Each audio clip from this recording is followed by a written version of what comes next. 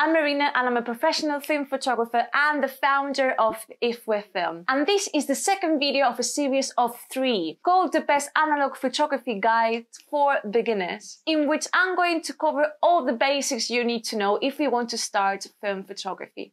If you haven't watched the video in which I explain types and formats of film cameras and which cameras I recommend to start with, please go and check the link of the first video that is in the description box. Watch the video and then come back to this one. So finally, we just arrived to the part that I really like the most. The uses part of analog photography. Films! Films! In this video, I'm going to cover two important questions. First of all, what are the basics I need to know about films? And second, which films are ideal to start with? Films can be classified according to three simple criteria. By its size, by the resulting image, and by its light sensitivity. If we want to classify the films by its size, then we have here three big brothers. 35mm films, 120 films, and large format films.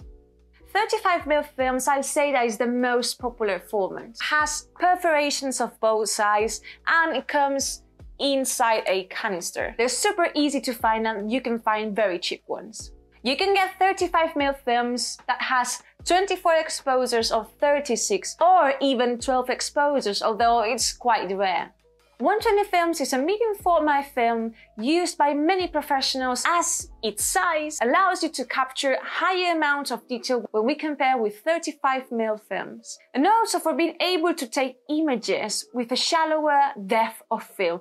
You know that kind of images that the subject pops out from the image and the background is blurred? Then that's a shallow depth of field. 120 film comes wrapped around a plastic spool and depending on which camera you're using, you can take from 8 to 16 exposures. This is because medium format cameras divide the shots differently. Reason why we have different image sizes. 6 by 6, 6 by 4.5, 6 by 7, 6 by 8 and 6 by 9.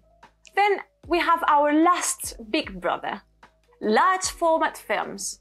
Large format films is a catch-all term for sizes larger than medium format. These large format films are, unlike 35mm films, individual film sheets packed in boxes. The most popular size is 4x5, but you can still find 5x7 and 8x10. Large format films are also known for being used by many professional landscape photographers since the image that you get from a large film, it's incredible. It's superb, honestly. Well, we just seen the big three brothers of film formats. But look, since I know that you might have a camera that doesn't use any of these sizes that I mentioned before, let me just quickly mention the sizes that you can still find.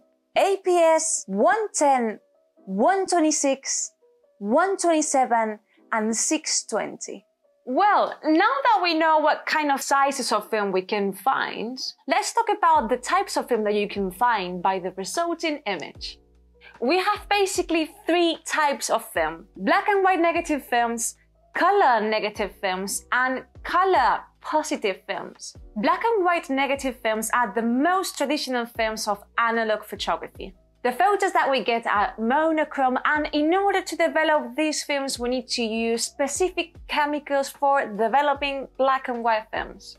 Once we develop these films we can see that the colors, in this case monochromatic, they are inverted, which is why they're called black and white negatives.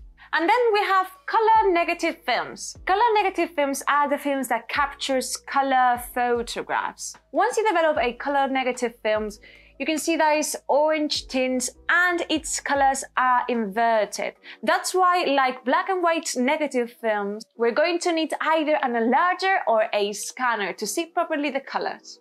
The process used to develop color negative films is called C41.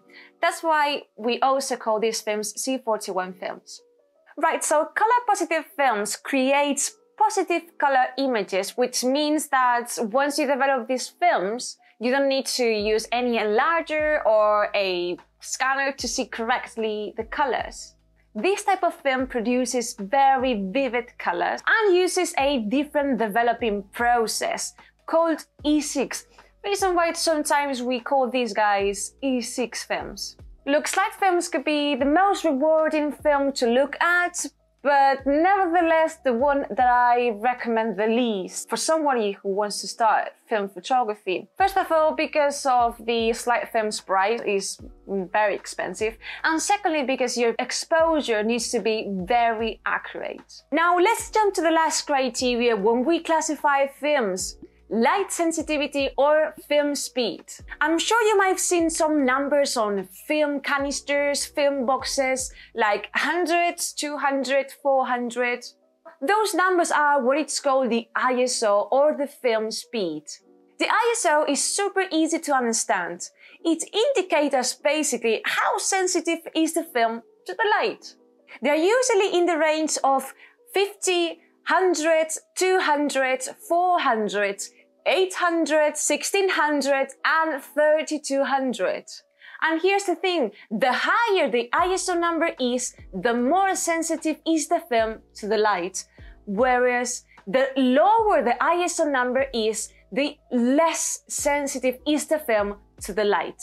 Look, to sum it up, there are two groups, slow speed films and fast speed films. Slow speed films generally refers to film with 200, 100 or below ISO ratings. They're good for outdoors on sunny days and they have less grain. Faster speed films generally refers to films faster than 400. So ISO numbers like 800, 1600, 3200 are considered fast films. Fast speed films are good for overcast days, indoors, but they have more grain, but far less ugly than the digital noise. Well, we arrived to the question that you probably you were waiting for, which is which films are ideal to start with? There are plenty of films that I like you to discover and experiment with, but let me be honest with you. If you're going to start film photography right now, I suggest you to get super cheap films, but decent. Because yep, I'm really sorry for being a killjoy, but I guarantee that you're going to make many mistakes and even you're going to ruin your film. But don't worry, that's why we have what we call the budget films. If you want to start shooting with color films, my recommendations are Kodak Color Plus 200, Kodak Gold 200, Fujifilm C200, and Fujifilm Superior 400 Extra. Or if you want to start shooting with the traditional black and white film, my recommendations are Ilford HP5 Plus 400, Kentmere 400, Agfa Photo APX 400 and Fomapan Classic 100. And a bonus film that I always love to mention but doesn't fit into the budget films section is the Ilford XP2. The Ilford XP2 is a very contrasty film but this one can be developed with color developing chemicals, which means that if you're going to send your XP2 to your lab, it's going to be a little bit cheaper for you since the price for developing color films is a little bit cheaper than black and white. By the way, all the films that I mentioned before, you can get them at Analogue Wonderland shop. So all the links are here in the description box. well, I think this is it for now. If you have any doubts or questions or anyone wants to add something helpful for beginners, please go ahead and leave us here your comments. Please.